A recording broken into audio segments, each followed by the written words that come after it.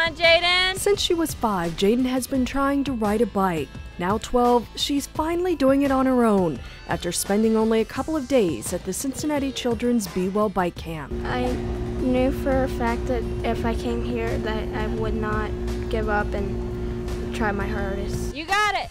Push, push, push, push, push. Jaden is one of 30 riders with special needs who took part in the five day intensive training camp. We went from not riding at all to she's fully riding by herself. So, very, very happy that we did the program. Here we go.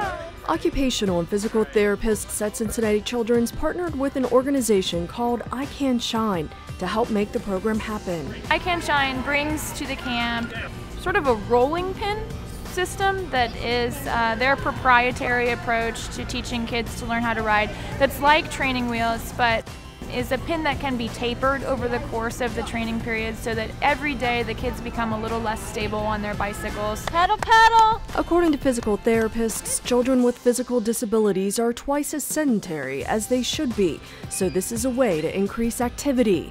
It also provides a confidence boost. When I first saw her on two wheels, I was past cloud nine. And you know, she just keeps asking me, "Mommy, are you proud of me?